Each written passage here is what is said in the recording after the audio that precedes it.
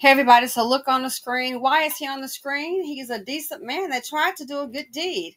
Let's see what happened. This will be part A. Then please stick around for part B, which will be a commentary uh, on a separate video. So this is what happens when you try to be a decent person in the hood. Check it out. A man shot in the head near a MARTA station says it happened as he was trying to do a good deed. That bullet was just centimeters away from taking his life. Good evening. Thanks so much for joining us tonight for Fox 5 News Edge at 11. I'm Tom Haynes. The victim's loved one stepped away from his bedside to speak only with News Edge reporter Rob DiRienzo. Rob, how is that victim doing tonight? Hey, Tom, good evening to you. Well, he is still in critical condition, but 46 year old Derek Watson's family is staying optimistic. They went right back into Grady to be out by his side after we talked. His daughter tells me she's heartbroken, but at the same time, she is so relieved he's still here. Mm. It's been very emotional for me. Like me personally, I can't sit in the room with him without tearing up. 46 year old Derek Watson's loved ones say doctors rushed him into surgery Monday night after someone shot him from a car on Westlake Avenue in southwest Atlanta near the MARTA station. Family members say seconds before he lent his phone to a woman who was just assaulted.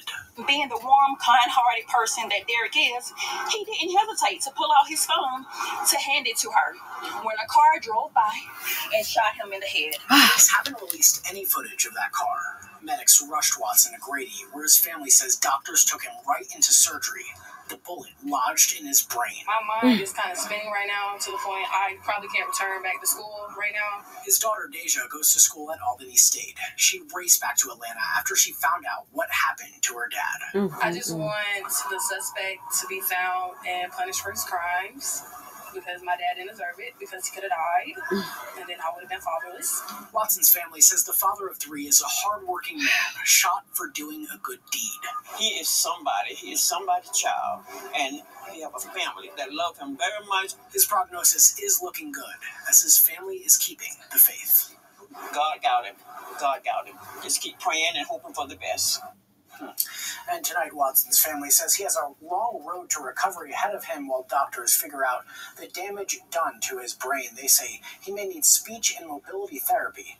Atlanta police confirmed Watson was not the intended target, but they don't have any suspects as of right now. Okay, people, you saw part A. Stick around for part B, the commentary. Oh my God. Speech.